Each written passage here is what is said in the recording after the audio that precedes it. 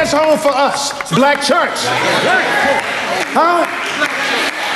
I don't hear you. Where are we? Black church. Speak to me. In black church, they don't say that I fit the description. In black church, they don't judge me because of the color of my skin. In black church, they don't call me out my name. And if they do call me out my name, you know what they call me? I said, do you know what they call me? They call me a child of God.